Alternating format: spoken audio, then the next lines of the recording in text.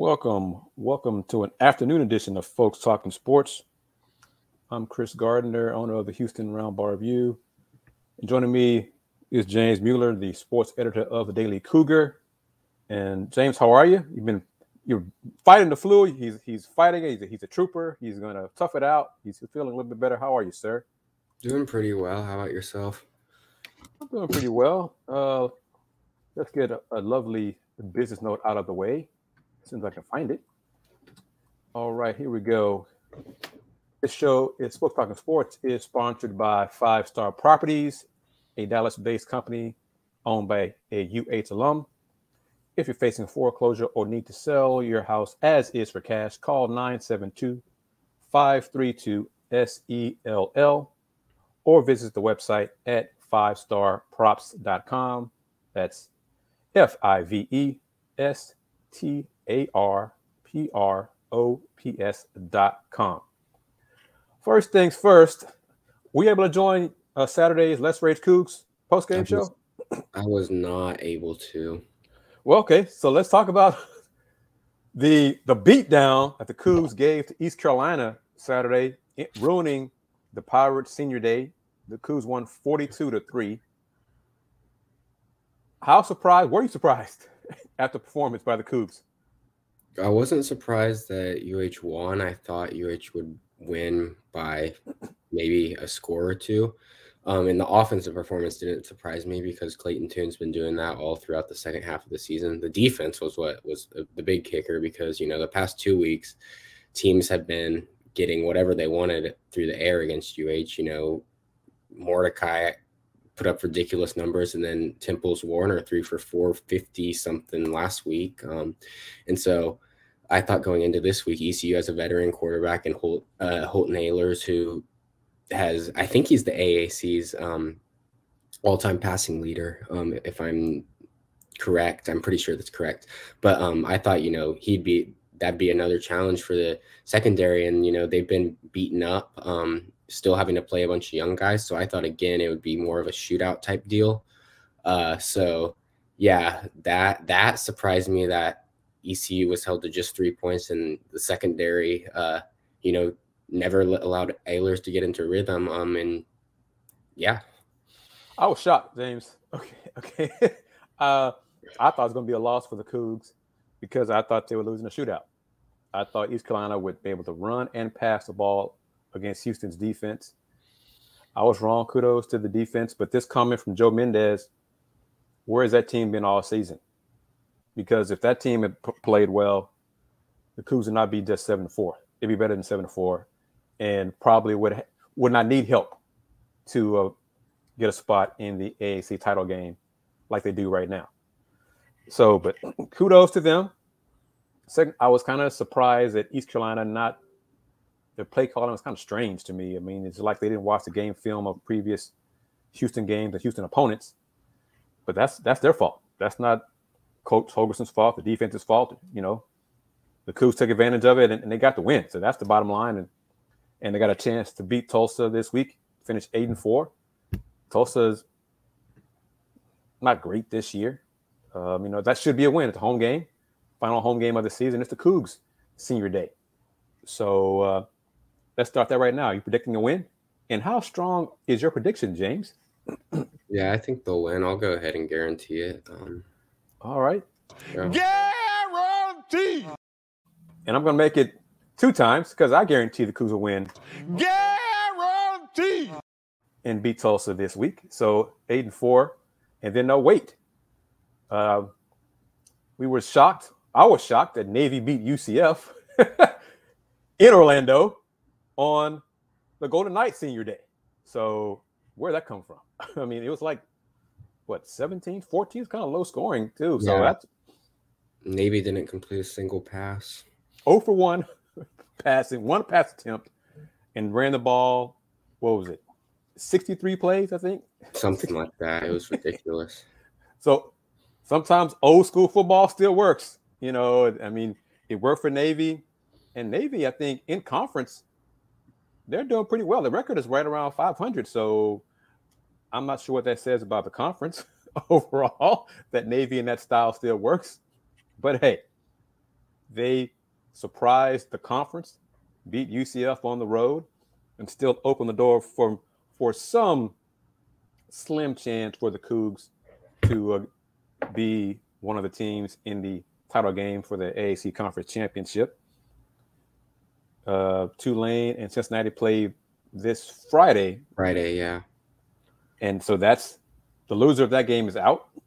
Uh, right? I I, well, I mean, yeah, yeah. So, the ahead. winner would get home field. The loser would still have a chance, assuming UCF wins this weekend. I think they play South Florida, if I'm not mistaken. Yeah. Um, mm-hmm. uh, assuming UCF wins, if uh, Tulane lost to Cincinnati on Friday, I think Tulane would still get in because they beat UCF. Or wait, did they? I can't remember. I know. I know UCF beat to, uh, since Cincinnati. Uh, yeah. So they that that would be a thing. I, I, I think it's really hard for the Cougs to get in, um, just because I think even uh two loss Cincinnati or two loss UCF in conference play team would get in over a two loss UH uh, team in conference, but we'll see. Um, yeah. So, I mean, let's let's go right there. If the Cougs, if our guarantee is correct, Houston beats Tulsa. They're eight and four they don't, they would not have reached the conference title game. Is this season, would this season be a disappointment? I mean, I think given what they had going into it, yeah. Um, because I mean, they were people expected them to make the conference title, not only make it, but win it. Um, a lot of people had them in New Year's Six bowls uh, going into the season.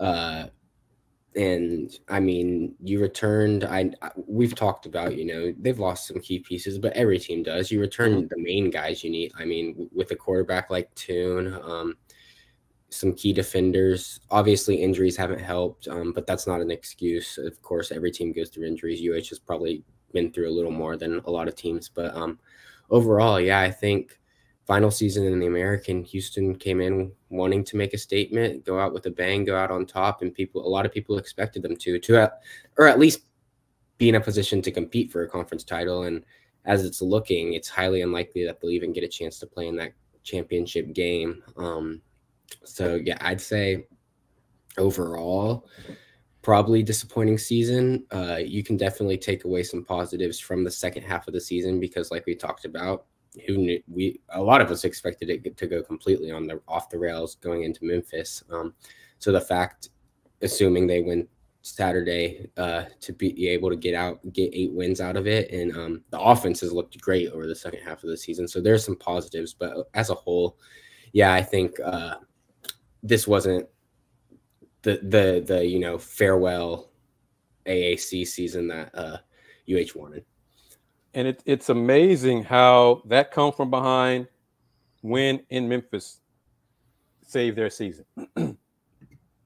and some might argue possibly saved Dana Holgorsen's job because they were teetering.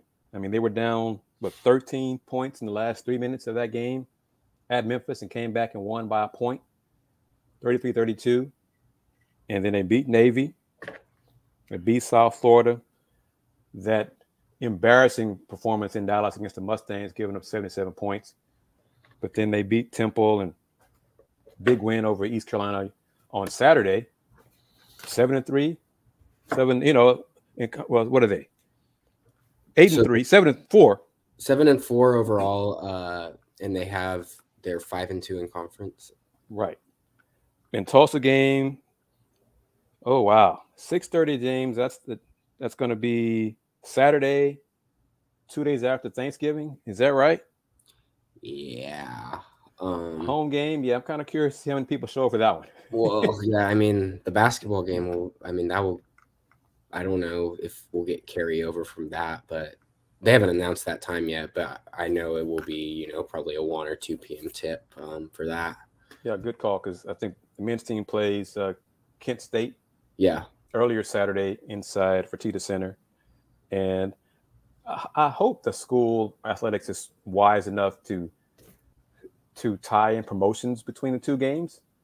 You know, with the basketball team and the football team, football team is senior day. So I'm not sure what they should do, but ticket promotion or tie-in, you know, something yeah. to encourage the, the fans who do come to the basketball game to stay and go for the football game. Yeah, so for sure. Another idea here tossed out on folks talking sports. Let's get into uh, basketball, men's team. In uh, oh, in case let everyone know, I'm going to say this. Uh, Andy Yanez, I think, should be arriving by now in Oregon, Eugene, Oregon, for tonight's game. Uh, he'll, he'll be there covering the game as part of Gallery Sports, but also he'll be doing the Let's Rage Cougs post game show after the game from Eugene, and he's going to be doing uh, covering a few, few. I'm not say all, but many of the team's road games now for the rest of this season. So that means Let's Rage Cougs will be on the road. James and I, I know we're going to be in Fort Worth as well for the game against St. Mary's. So we're traveling, James. We're we're we're expanding. We're we're on the road with with uh, technology. We'll still bring you shows and and things of that sort. But yeah, so look forward. That's why Andy's not with us right now. Willie Gibson is either either covering the Cavs or the Browns. So he's in Cleveland, in Ohio, doing what he does in his other job. So we moved up today's FTS to three because I'll be heading to uh, downtown for the Rockets Warriors game shortly because that game tips at six. I didn't realize because I've been doing all kinds of stuff that the Warriors are 0 and 8 on the road. Yeah. You, until yesterday, I did not realize that. So I ask you, James Mueller, Joe Mendez, folks tuning in. Oh, got to do a better job of this, promoting it. Will the Warriors still be winless on the road after tonight's game against the Rockets? No. No. And you were quick about that too, James. I mean, no hesitation whatsoever. So you're saying Golden State will get their first road win tonight? Yeah, I mean, I just don't have much faith in this Rockets team. What they've shown. Why not? What What have you seen that gives you pause or concern or or any of those things? I mean, it's just they haven't taken that jump on under Silas that a lot of people thought. Um, there's still a lot of inconsistencies. Uh, I mean, they they they've got they play well in flashes, um, and they've obviously got a lot of talent. Um, Jabari's been off to a slower start than I thought he'd get off to this season. Um, obviously, he, I mean, he's a rookie, um, so there's obviously that learning curve there, and you can't expect him to, you know, come into the league as an all star. But overall, I think just, yeah, I mean, it, it's just been a lot of inconsistencies. You'll get, you know, spurts of good play, but they haven't been able to put together many complete games. Um, and some of the coaching decisions just have not made a ton of sense. Like what? You you sound like some of the people who tune in to uh, the Let's Talk Houston Rockets show here on the Houston Roundball Review channel. What what coaching decisions have have you questioned when you watch Rockets?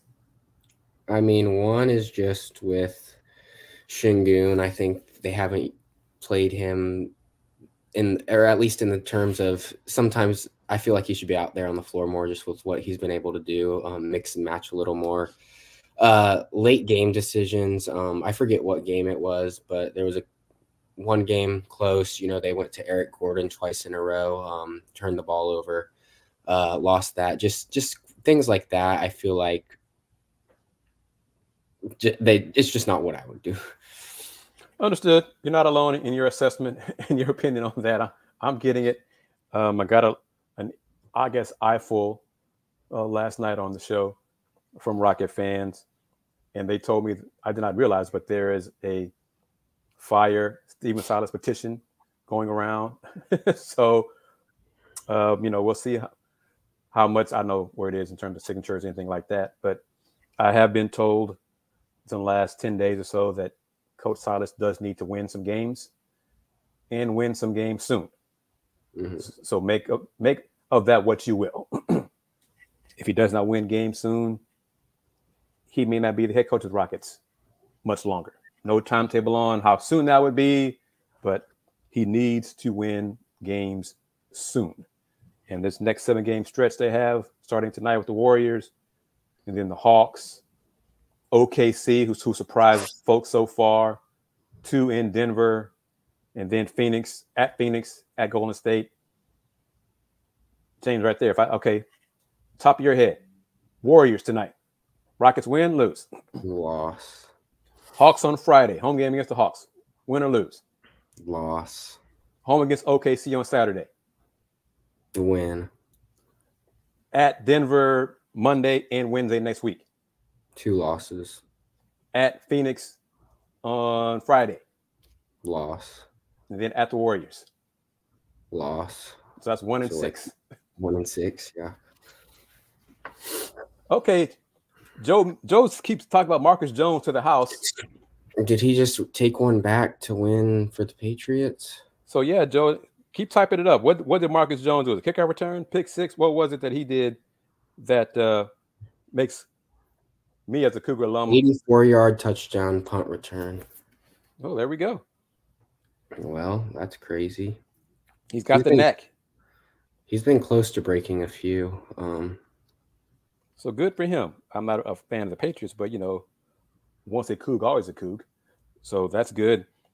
And more, more and more, once the sale ever happens and is official, I'll we'll return to being a fan of the Washington Commanders. But I do know that they beat the woeful Texans today, yeah. 23 to 10. And that post game show will be on the uh, Houston Roundball Review channel around, I think, six or seven this evening. So tune in for that on the Ad Max corner. But yeah, the Patriots won 10 to 3, and that touchdown was courtesy of Marcus Jones. So how about that? So Joe, thank you very much for for letting us know and hipping us to that. Cougs men's basketball, third ranked Cougs face Oregon tonight on ESPN, 8:30 p.m. Central Time. Cougs are, I think I saw favored by six and a half. What do you say, James? Who's win tonight, remain Yeah. undefeated, move to number two in the country. Uh, yeah, I, I think uh, I think they win. I think they'll cover um, for sure. Uh, Oregon's looked a little shaky. Honestly, I wouldn't be surprised if they. I, I mean, for sure. I think for sure number two. I wouldn't be surprised if they jumped up to number one. North Carolina has not looked. I mean, they just haven't been convincing. They they're undefeated, but um, Right. With the with if you looked at their schedule before the season, you'd think they'd be dominating, and um, it just hasn't been that way. So we'll see. But um, yeah, I do think UH wins tonight. Yeah, the Tar Heels are now four and zero, and I think today's win over James Madison might have been the most impressive. They beat UNC Wilmington by 13. That was kind of a struggle a little bit. Charleston, they were 86 to Charleston, but won by 16. Gardner Webb was much closer than a lot of folks thought. That was a six point game. And then the Tar won today over JMU 80 64. so I think it's outside chance Cougs win. But we talk about that. Oregon lost to UC Irvine last week at home. And that does make sense. you know, Oregon, but it happened. So Oregon's wins, I mean, they are two and one on the season. The loss to Irvine wins by 13. I think I said 11 on the Les Red Coug show. 69 56. And then they followed up, they bounced back, beating Montana State 81 51. So Oregon's wins are over Florida A&M and Montana State. Their one loss is to UC Irvine. Well, I think you and I both agree that the Cougs are better than Florida A&M, UC Irvine, and Montana State. so, what are, what's been your thought of, the, of uh, what you've seen from the Cougs so far in uh, these first four games?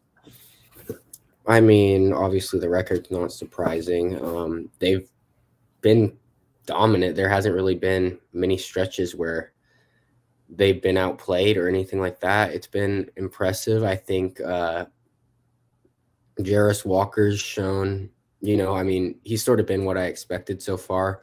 He's had a few games where he's been, you know, the best player out there offensively, other games where he struggled, but you know, made an impact on the boards with his defense. Um Marcus Sasser's been Marcus Sasser. Uh, Tramon Mark had a really nice game um, against Oral Roberts. He's still coming along. Um, and then while Jamal Shead hasn't been, uh, you know, scoring a ton, he's been a nice orchestrator out there. And then I think one of my biggest things has been just the play of uh, Ja'Vier Francis off the bench. I think he's shown some really nice things um, coming into the season. I didn't know how much they'd use him. I figured he'd get in some. I didn't think I didn't think he'd be as big of a part of the rotation as he's been in there so far. And I think um, he's shown some nice things and give him um, some nice spurts, and you know is able to. I think he'll play a big role coming down the stretch. Um, he's going to continue to develop and get better. So yeah, that that would probably be my biggest takeaway, just in terms of players. But overall, I mean, it's what you expect from a Kelvin Sampson team. They don't.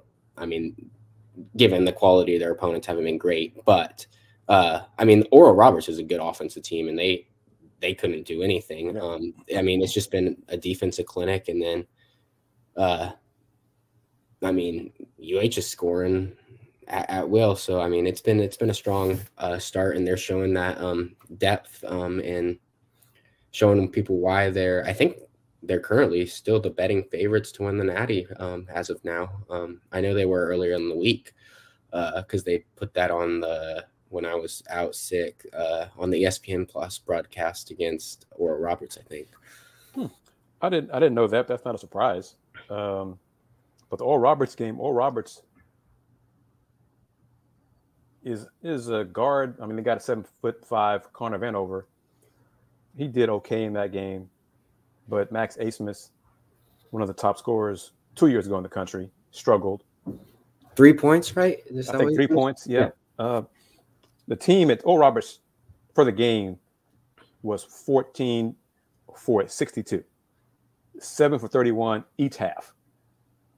They struggled to make threes. And if you struggle to make threes against Houston, you're going to struggle to win. okay. Yeah. The the Ducks, look at the stat line. They're only shooting 56% as a team from the free throw line, 44.6 from the floor, 30% from three. So they're not a good three point shooting team. So that's if you can't make shots from the outside against Houston, you're going to struggle. Uh, last I saw yesterday, Ducks big man N'Faly Dante, 14 and 8 on the season so far, was slated to slated to play today. If he doesn't, it's going to be even more difficult for Oregon to beat the Cougs. But a guy that I've been surprised with so far for Houston is J'Wan Roberts. Oh yeah, his his they're looking to him to score on the block. You, you can see the develop. He's another example of the Houston Cougars coaching staff and their player development. Mm-hmm. Another su- success story. Um, is scoring on the block, left side and right side, some mid-range game. We've seen it. He hasn't really displayed it in games yet because it has been needed. He's been working on his three-point shooting. Yeah. He, so he's becoming better at that as well. So just another example of Houston and player development. And let's talk about that. Um, it was announced when Wednesday, I think the last day of the first week of fall signing period, that big man and big man Cedric Lath, 6'9, 6'10, 250. In one interview, I think he said said last month that Coach Bishop weighed him at 261. He didn't think he was that heavy, but you get an idea. He's about 6'10, 250, but he's 18 years old. Mm-hmm. Uh, he's only started been playing basketball for three years. So he's very raw, but the potential is there. And if you have not seen clips of him and highlights of him, he dunks the basketball like the rim pissed him off. I mean, he dunks like Shaq. I mean, just with true ferocity. So that's his strength right now is, is slam dunks, and he's better on defense. But overall, I think he'll be a good example, a good indicator of player development. So have you had a chance to do any digging on on, on Cedric Lath, his game? But he's going to be coming reporting to Houston in January to get an early start in the culture and working out with Coach Bishop and he's a national signing. So you got uh, Jacob McFarland from California, Cedric, really based in, in the Utah area because BYU is one of his final schools as well. But what have you found out or learned about big man Cedric Lath? Yeah, um, one thing when I've seen when I've watched his highlights was the dunking. Obviously, I, I was gonna say it looks like the you're afraid the rim's gonna fall off every yeah. time, you know, because um, I, and I've, I've, I've been told, excuse me, James, I've been told he's broken three rims. That wouldn't surprise me. um, yeah, yeah, uh, they might need to get some insurance policy at Fertitta Center or something. But um, yeah, um, overall, that was one thing you mentioned earlier too about he'd only been playing for three years. Kelvin mentioned that on the Zoom. I did not know that. So, um, you know, looking back at that in perspective, once Kelvin said that, and you know, going back and watching some stuff, it's impressive what he's been able to do.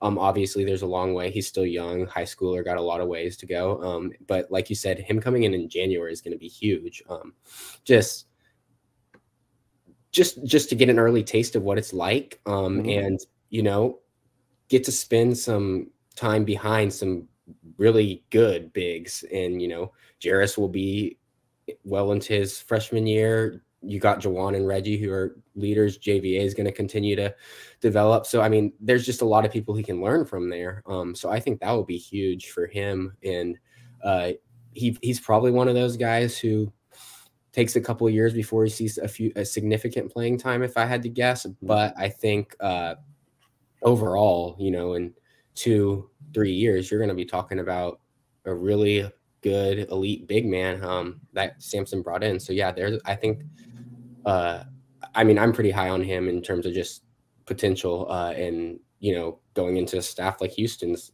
there's not many better that have proven to been able to develop guys. So I think it's a great situation. And one thing, uh, Coach Sampson mentioned in our Zoom call, I think Andy asked him the question to for more info on, on Cedric. Yeah, Coach Sampson said that uh, when he was talked to Cedric, that and his and his people, his circle, choose a school, and this is when Cedric made his visit, you know, in our recruiting process. Choose a school that will develop you. Choose a staff, you know, choose a coaching staff that will develop you. Don't just choose a school because they sent X amount of guys to the NBA or or anything like that. What if they, you know, but choose a staff that will help make you a better player. Well, the Houston Cougars staff has shown that they will help make their players better so he'll get here in January when fans watch the games and you see this large young man in UH warm up gear or whatever, that's going to be Cedric Lath, you know. And if you, why is he playing? Because he's not he's not going to play yet. Okay, he's here to get in shape, learn the culture. He will be able to practice with the team because that's what Emmanuel Sharp did. Mm-hmm. Emmanuel got here in January, and he spent time learning the culture. He did travel with the team on the road, so I think that'll be the same for Cedric. That'll be a great uh, plus for Cedric as well to go on the road with the team and learn the ropes, get a, a, sense of college basketball, and not have to worry about the stress of playing early. Mm-hmm. So that's going to be a benefit. And then you got in Jacob McFarland. Jacob told me he's going to get here in June. And I think I haven't talked to Cordell Jefferson, but JoJo, you know, JoJo's in town, so I think he'll report in June as well. Cordell probably also. So a Houston kid, a Texas kid, and then then two kids from from National. So it's a good look for the program. And let's touch on it. for folks wondering, Coach Sampson said that the staff is done signing high school players for the class of 23. Mm-hmm. Okay. Mm-hmm. That does not mean they're done. They're, they're just done signing high school players. So, what does that tell you, James Mueller? I mean, like like any all everyone in college basketball, you're going to be looking in the portal um, come in into uh, you know late in the year um, because you're always looking. I mean, Kelvin's talked about it a lot, but it's the veteran teams that win and they've done a good job adding guys through the portal um, over the years. Last year, you know, you saw that with Taze, Josh, Kyler. Um, they, they, continue to get guys, so they they'll be looking for some guys to uh, that can come sort of be plugged in immediately because, I mean, not looking too far ahead, but you know, Marcus will probably will be gone. Mm-hmm. Jarace will probably be gone. There'll there'll be some holes that they need to fill, and not saying nothing against the freshmen they got coming in, but um, you know, Sampson likes those veteran, experienced guys. And I, I, based on on that, the position that seems to be needed to fill or, or back up for to depth purposes will be point guard. Mm-hmm. So for someone back up Jamal Shead, I'm not I'm, I'm not saying it's going to be easy, but I don't I doubt it will be difficult for the, the staff to get a veteran point guard to want to join this program and join the Cougs and be a part of the Big 12 and, and success and, and, and all that. so I don't think that's going to be a tough task.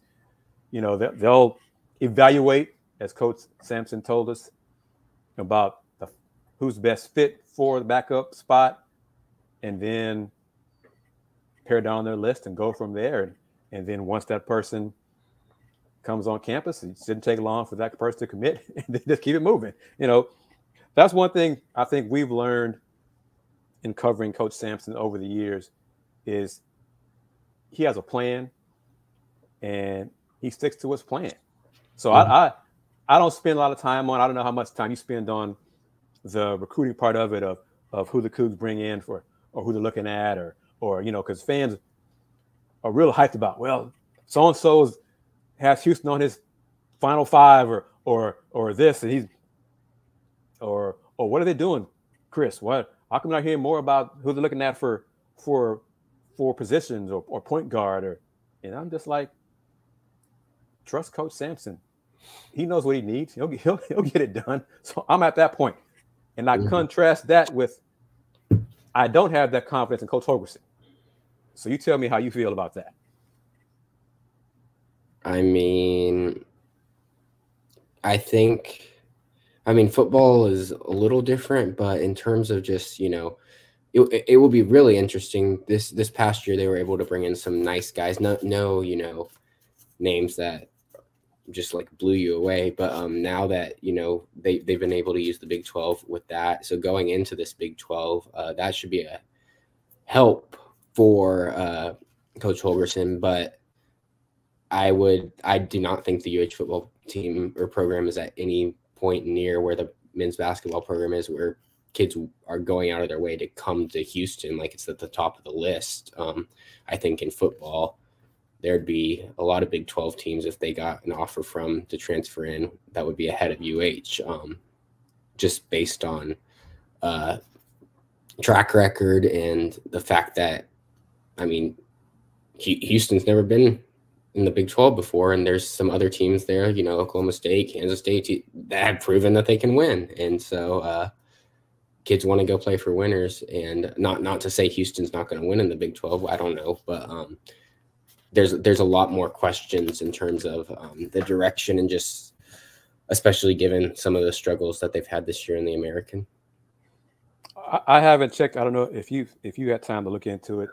I'm not even sure. I'm sure somebody's done it, but where Houston football ranks in terms of recruiting class for the new Big 12. I, I guess I phrase it like that because I don't know if they're bottom four or, or, mid four or whatever. I don't know about that. So that's something to inquire about because they got to get better talent if they want to be competitive in the Big 12.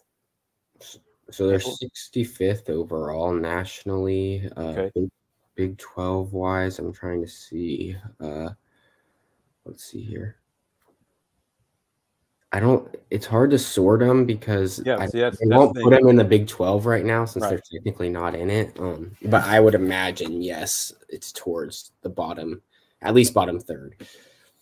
So and that has to get better, and it might. It, it just has to get better. But off right now, projecting. Let's do some projecting with with Joe and anybody else watching us on YouTube or on Folk Talk Sports on Twitter. Who would you say Houston football is better than in the new Big 12 as of July 1st, 2023? I think they could beat West Virginia. Um, Uh, uh, I agree. I lean more toward that as a yes than I was a while ago, but okay, yes.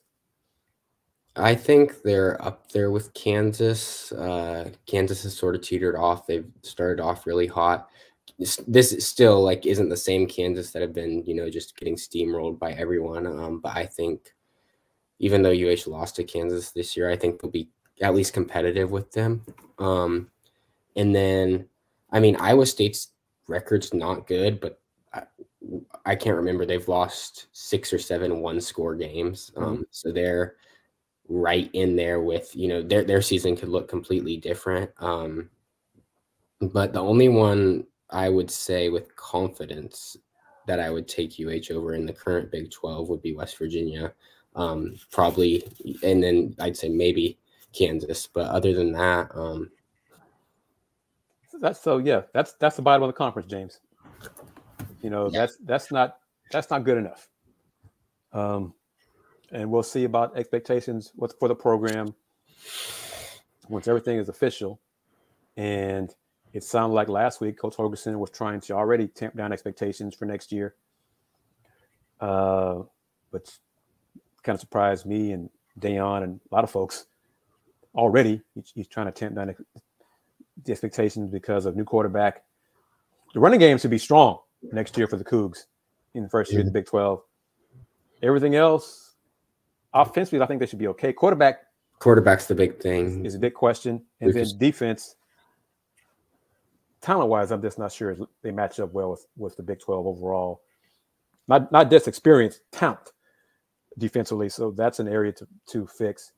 Um, uh, with the way some of these teams in the Big 12 air it out, uh, if, yeah, I mean, it could be it could be a long.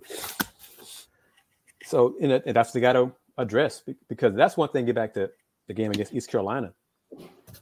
Prior to Saturday's game, we've you know you watched the Cougs defense this year. There were so many times where wide receivers and tight ends for, for opponents were just wide open all the time. mm-hmm. I mean, all the time.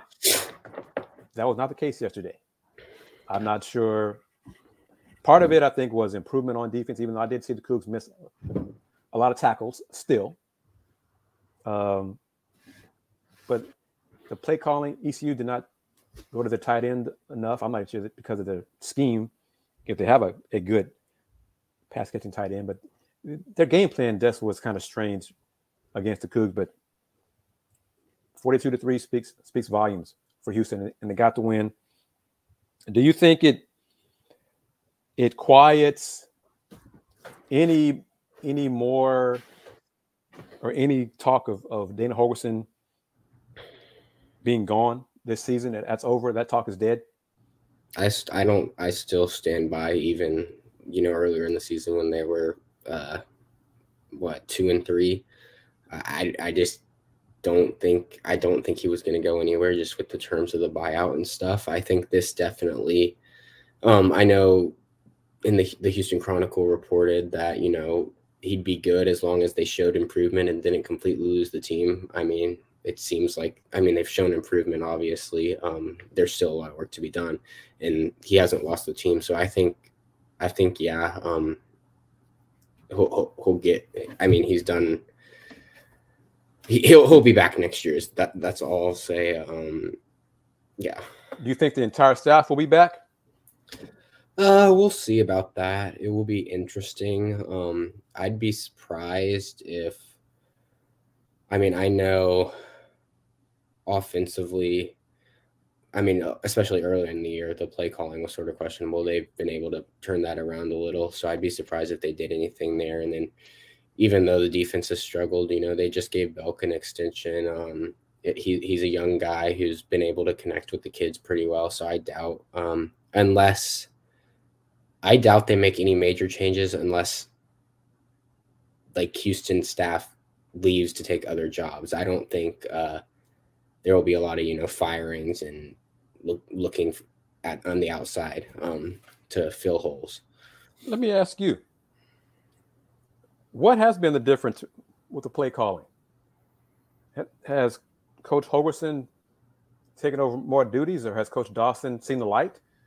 Because yesterday he went to Christian Trahan a lot, the yeah. tight end, and that's been more Trahan's been more involved last few games. And what's what's been different? They're much more aggressive in play calling than they were the first three, four games of the season. Yeah. I don't I'm not 100% sure. I'm pretty sure Dawson's still calling plays. At least that's what Dana seen. I could be wrong, but um, Dana hasn't said otherwise since he was asked about it. Um, I forget when, like four or five games into the season. I think one thing Clayton Tune uh, coming off the bye week, one thing he told the media was, you know, he wanted to throw the ball more. He wanted them to be more aggressive. So I think part of that's just probably the senior quarterback getting in that room with Dana, Dawson, guys like that, and been like, you know, I, I want to throw the ball more. Let's let's take some shots. We haven't been able to. I mean, not much has worked in the first half right. anyway. Might as well uh, do some, try some new stuff. And like you said, it's worked out. They've, um, you know, they've been much more efficient, um, especially through the air. And then, like you said, they've gotten some of their bigger weapons involved. You know, where Trahan, while he was battling some injuries, he was n- not involved at like. I mean, it, it, was like they forgot about him for yeah. the first five, six games, and then you know, yesterday he he had his best game in terms of receiving receiving wise, and he was targeted a lot. And now he's he you know the latter half of the season as a whole, he's been back to that you know old reliable guy that Tune goes to um, to pick up key plays, and um, yeah, he's actually involved in the offense. So I I can't answer like the play calling thing because I don't know that, but I think a lot of it has to do probably with Tune going in and being like you know. Well, good for Tune. Yeah, being the veteran, the senior, it was needed, and it's worked out well. Question from Joe Mendez: Do you believe this? Will Coley be ready for the Big Twelve if he's named the starter, or do you think the Cougs will hit the portal for a a veteran QB? Uh, Holgorsen likes Lucas a lot. I know that. Um, and he was at Arkansas. Obviously, didn't play much, but um, I think it's hard to say a QB who's never taken really meaningful snaps to throw him in there and say yes immediately they'll be in the Big 12 or be ready for the Big 12. Um, I do think as of now it's looking likely that he'll probably be the guy. Um, if I had to guess, uh, just based on they haven't brought in any huge quarterback recruit out of high school, I'm sure they'll probably entertain things in the portal but I think you know a lot of the plan was when bringing him um, in over the past year, you know, get him a year behind Tune, get him to learn the system and stuff, and then once once UH goes into the Big Twelve, he's the guy they roll with. But um, I mean, I think you'll see early season struggles and stuff from him because I mean, any quarterback, you know, playing their first meaningful snaps in college. But um, yeah, I as of now, if I had to guess, he'd be the guy, um, unless they do bring in somebody. Um, but that's a little ways away. So, and and I think whether it's Lucas or another quarterback, they're going to run more. They should run more because running back course is deep and talented. Mm-hmm. Alton back, so they might help rest their defense by just pounding the rock, just just running the ball a lot more, and that might help Lucas Coley uh, get comfortable, or quarterback X get comfortable face the Big 12. Well, let's get into this. July 1st, 2023. What, it's official, Houston's in the Big 12. What can, what should Houston Athletics do to market, improve marketing, promotion for football in the Big 12? I mean, okay. Um, one thing is just, I know we, we went talked about it last year, but they don't really have a traditional spring game and they don't advertise it well, even though it's free. Um, and this would be before they joined the Big 12 officially, before mm-hmm. that. Um, but I mean, first chance to see your Cougs as they enter the Big 12, make a big deal about that you don't have to run a full on official game if Holgorsen. I know Holgorsen doesn't like that, but at least do some sort of thing to give um, fans an opportunity to see things um, and let people know. Don't just you know put it on your website and no signs, nothing like that. Like right. that's one thing. uh, another thing, uh, just sort of like you could have like an open house type deal at TDECU Stadium. You know, walk around, look around. Here's all I, I know teams have done this in the past. They'll put like white pieces of paper on every seat that's available for season tickets and stuff. Here's what's available. You can you can check out the view. You can sit in this seat and see if this is a view you'd like. Um, stuff like that. Um, and then we've talked about you know the social media. They've obviously taken a step up, um, and kudos to them for that. Uh, but continuing to improve that because that exposure is huge um, and not only for the fan base but getting potential recruits to notice you and things like that so i think continuing to you know um, play around with different ideas um, and over the summer what they i mean they, at near the end they did a better job but you know even when nothing's happening you know may june july august do some fun mic'd up spring sure. practice, summer workout videos do j- just something to give fans some content and obviously do what a lot of teams have done with the countdown you know 12 saturdays till cougar football is back um 11 saturdays till mm-hmm. it, it's, it's not much but i mean you're just letting people know and it's a start. you, you, yeah. nothing. Yeah. Joe mendez you're you're you're giving us comments helping us through this show additional folks talking sports. Anything you like to see houston athletics do uh, to connect fans with the football program? Because they, because they got to do better. They have to do co- commercials as well, and commercials to reach more outlets rather than just the same old tired outlets that they've been doing in the past. It's a different era, different time. It's 2000, be 2023 soon. Go where your fans are.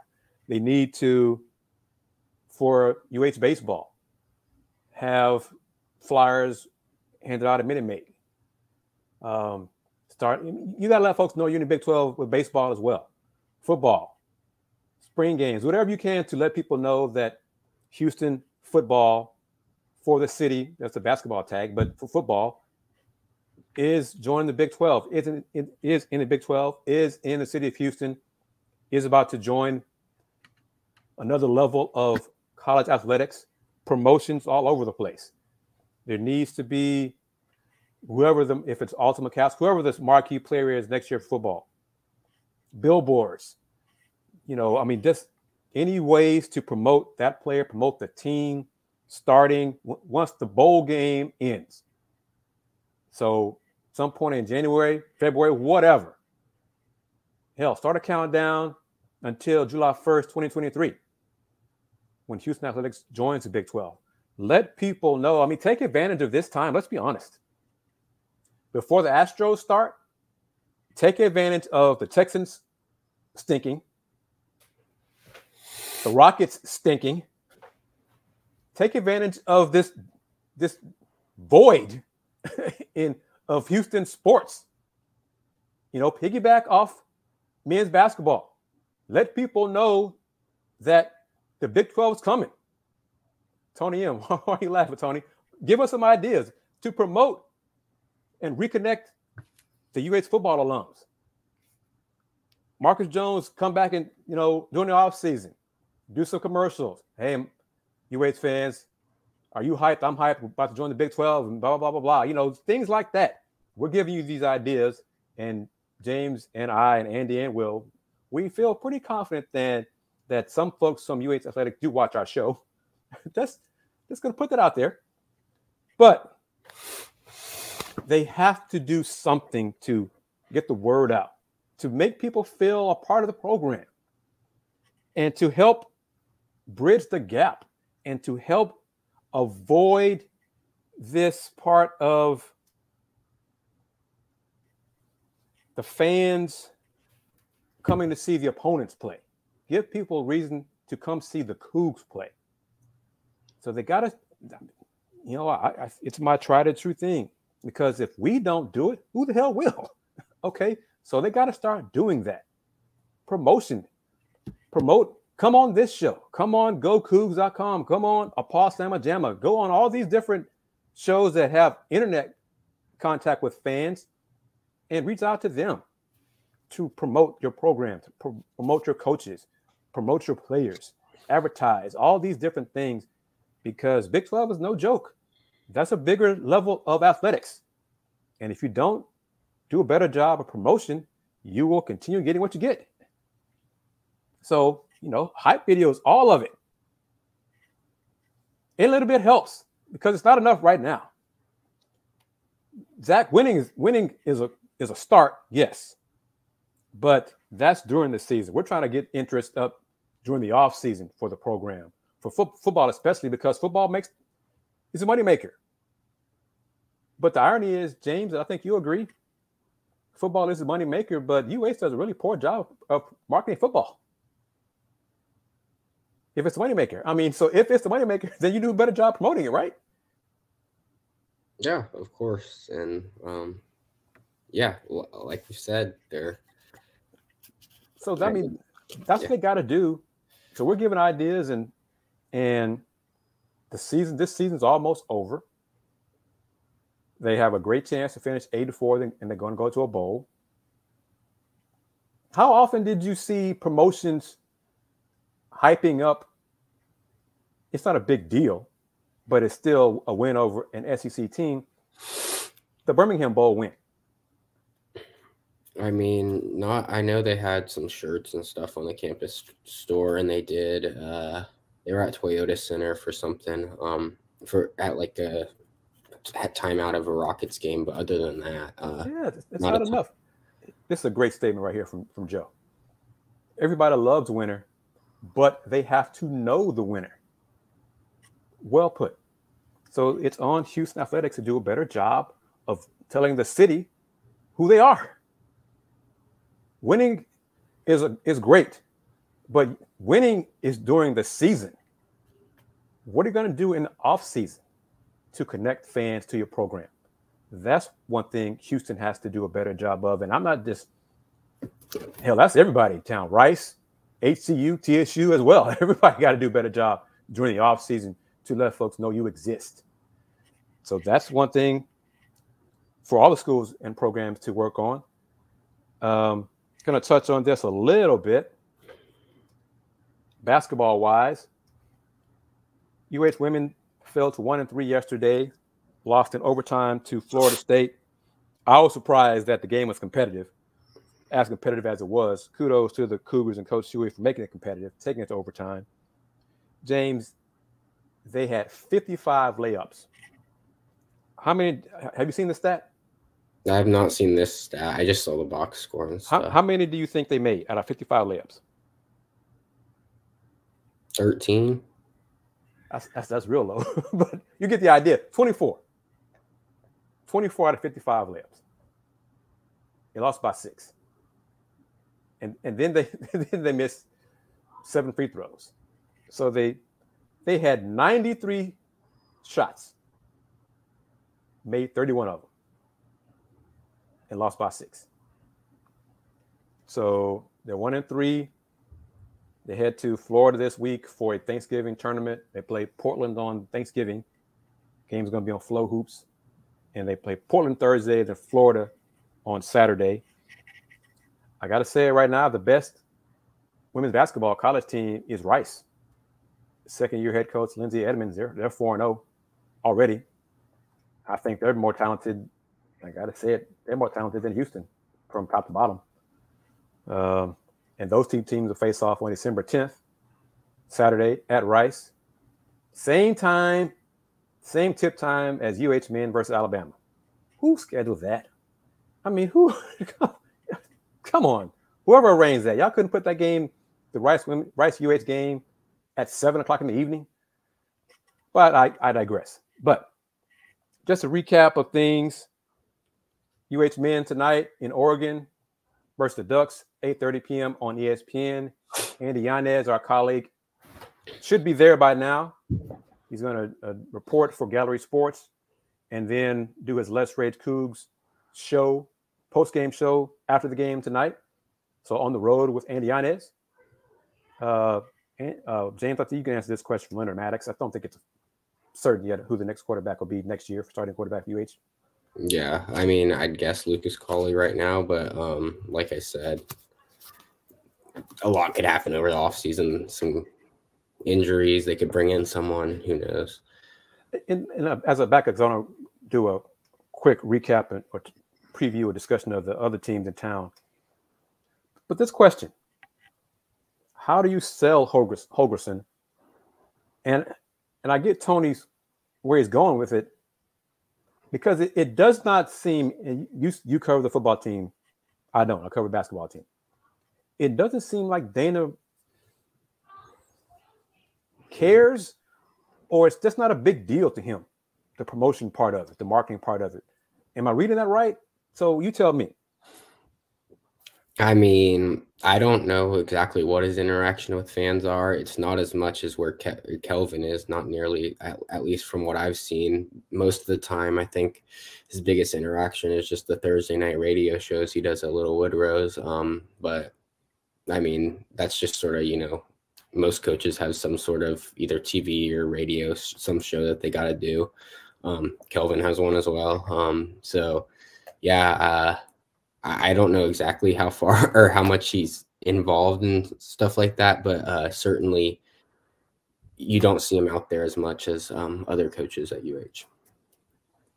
And that I think we could say that's not really his job. It's it's the marketing department's job. It's the athletic department's job to promote UH football. He could help, but overall, the program has to do a better job promoting UH football. So that's important. Uh, we got some recaps, the final scores here. TSU men lost at Samford today, 78 63. That kind of surprised me. Prairie View men are leading UT Martin. Prairie View men are undefeated right now. They came off beating Washington State a few days ago. So PV is winning on the road against UT Martin. Texas A&M women are struggling against the winless TSU Lady Tigers. They're finally up by 10 late in the fourth quarter. But yeah, I, don't know what that said about the Aggies. If you struggle against TSU, because TSU is not good. TSU women, they're not good. A brand new team, new coaching staff, not much talent, very young, well, very young talent. So I'm not sure what that said about the Aggies. But uh, tomorrow, um, the HCU men and Rice men are going to play at Rice Tudor Fieldhouse in a game for the uh, the Darius Lee Memorial Classic. It's part of the Rice Salt Invitational, but tomorrow's matchup will be a tribute to honor Darius Lee, HCU's player, best player, but that's not the issue. HCU player who was killed in New York when he went to visit this summer, visiting friends and family in New York, and was shot and killed. I think Darius was 21, 22 years old. Um, so it's tragedy. So tomorrow's game is a memorial for him, memorial tribute to him. His family will be there. Some of his family will be the game. I'm going to be there tomorrow as well. Show my respect and support for the family. Games at seven o'clock at Tudor Field House. I think it's also going to be on Conference USA TV. I Got a link to it on my website at HoustonRoundballReview.com. So, but uh, kudos to Coach Rice Owls, Coach Scott Pera for making that happen, having the Darius Lee Memorial Classic. The Owls reached out to HCU head coach Ron Cottrell to get that done. So if you have time, they'll want to check out some good basketball talent level right there between Rice and HCU. It's fairly even. Rice is still a little bit better than the Huskies, but come by Rice tomorrow to see that game, 7 p.m. tip off. Uh, let's see, Rice women play TSU on Wednesday at 2 o'clock at TSU. And I said earlier, UH women will be in Florida, the St. Pete Classic on Thursday and Saturday.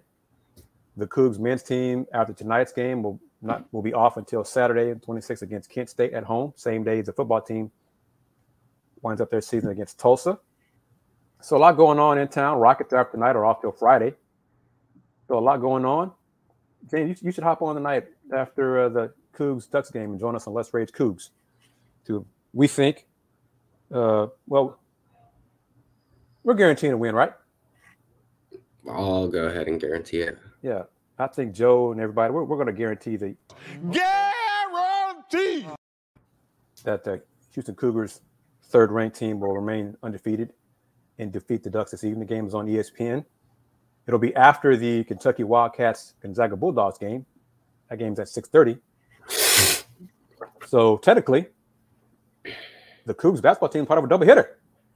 Yeah. With the lead in with the Kentucky and Gonzaga. That's pretty impressive right there, man. Mm-hmm. It's a pity the Ducks didn't do their part and be ranked. But anyway, my man, how can folks find you, follow you? Give me a chance so I can pull it up here as we as we close up the show. This edition of Folks Talking Sports. How can folks find James Mueller on social media? Yeah, um, you can find me on Twitter at JDM2186, and then um, the dailycougar.com will have all my coverage regarding UH athletics. Thank you as always, man. I'm glad you're feeling better. Uh, keep taking care of yourself. Uh, let's see. I'm KG Kris Gardner of the Houston Roundball Review. Once again, thanks very much to Five Star Properties, owner of Five Star Properties. He is a Houston alum based in Dallas. So Cougs helping Cougs. Five Star Property sponsors is a proud sponsor of Folks Talking Sports. So you can see the number on the screen for those listening to the podcast on Spotify, iHeart, and Apple. Number is 972 532 SELL. 972 532 7355. The website is fivestarprops.com, F I V E S T A R P R O P S.com. Five Star Properties will be sponsoring Folks Talking Sports throughout college basketball season. So if you want to be a sponsor after this season ends, just reach out to me and we'll make that happen. Thank you very much for joining us during a, a different time of FTS. At three o'clock start today instead of the usual six on Sundays because I'll be at the Rockets Warriors game later on. and he's on the road with the basketball team. James decided to was able to join me earlier with the Gibsons covering the Browns or the Cavs in Ohio. So that's why it was two of us today. I got some ideas for future guests in future shows that may have a UH slant. In so let's look for that. Keep watching us on the Houston Roundball Review on YouTube, as well as on FTS Folks Talk Sports Twitter account. Thank you once more time. Oh wow, just see that uh, number one, number two in women's basketball, South Carolina, Stanford are going to overtime. So that game lived up to the hype. That's great to see. So James Mueller, thank you very much. Uh, I'm not sure if there's any UH availability this week before Thanksgiving. If I don't see you before Thursday, happy Thanksgiving to you, my young, my good friend. To you as well, and to uh, to to Joe Mendez and Tony M, Leonard as well. Happy Thanksgiving to you, Zach Rome as well. For all the folks who support folks talking sports, the Daily Cougar, and the Houston Roundball Review. Happy holidays because it's to the season now. And just join us tonight, late night. It'll be Less Rage Cougs After Dark with Andy Yanez, Dayon Dunlap, me. See if we get James to stay up late to join us as well. So we will recap the Cougs Ducks men's basketball game, basketball game later this evening on the Houston Roundball Review YouTube channel. So until then, everybody take care. See you later. Peace.